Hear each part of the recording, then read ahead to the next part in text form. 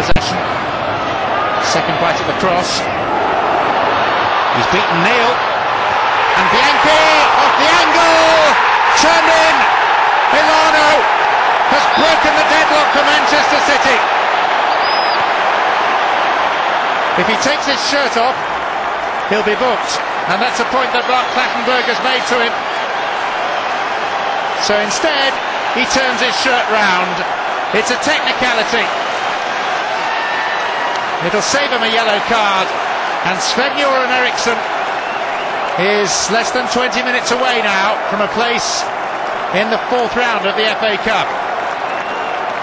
And wouldn't you just know it that Petrov would be involved in the build-up. Bianchi denied by the woodwork. Brave header by Elano.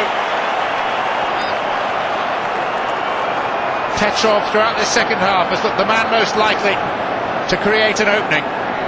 Bianchi should have scored, Elano did. Manchester City 1, West Ham United nil.